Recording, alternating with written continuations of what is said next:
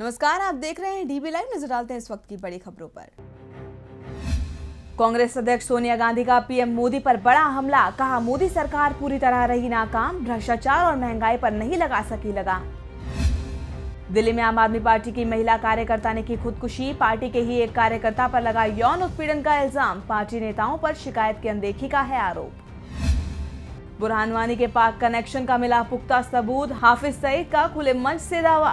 Encounter से पहले वानी से हुई थी बात।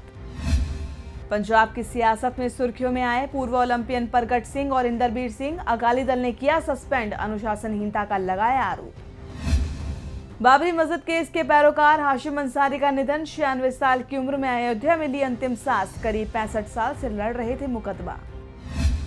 अमेरिका में डोनाल्ड ट्रंप को रिपब्लिकन पार्टी ने औपचारिक रूप से चुना राष्ट्रपति पद का उम्मीदवार, हिलेरी क्लिंटन से होगा मुकाबला। और आज से शुरू हुआ सावन का पावन महीना, भगवान शिव के मंदिरों में लगा भक्तों का तांता। तो यदि इस वक्त की बड़ी खबरें देखते रहिए जीबी लाइव क्योंकि यहाँ है खबरें लगातार।